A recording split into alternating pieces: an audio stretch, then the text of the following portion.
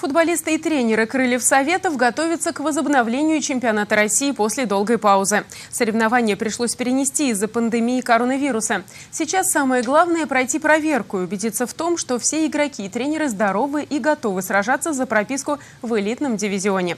На прямой связи с нашей студией находится корреспондент Анатолий Головко. Ему слово.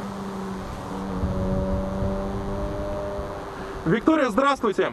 Мы находимся рядом с базой футбольного клуба «Крылья Советов», которая в данный момент закрыта на карантин. Недавно российские футболисты и тренеры, которые не были за рубежом, сдали тест на коронавирус, и, к счастью, он дал отрицательный результат. Также в Самару прилетели иностранные футболисты и главный тренер «Крыльев Советов» Миодрак Божевич. Рядом со мной сейчас находится врач футбольного клуба «Крылья Советов» Илья Куценко. Илья, здравствуйте.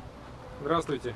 Илья, расскажите, пожалуйста, каким образом сейчас э, футболисты э, сдали тесты на коронавирус, как они себя чувствуют и в какой форме они находятся? Футболисты приехали в прекрасном расположении духа, чувствуют себя прекрасно, все сдали тест отрицательный. Сейчас ждем только результаты тестов иностранцев и тренерского штаба. Когда будут готовы результаты тестов Миодрага Божевича и иностранных легионеров? Они сдали тест вчера, в ближайшие часы мы ждем результат.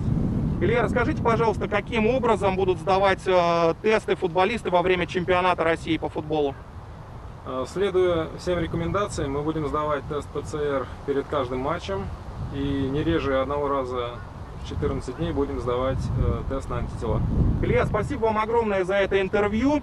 Желаем успехов вашей команде и, конечно, здоровья. С нами на прямой связи был врач команды Крылья Советов Илья Куценко, а я передаю слово ведущей программы «События» Виктории Шарой. Виктория. Анатолий, спасибо. Это был Анатолий Головко.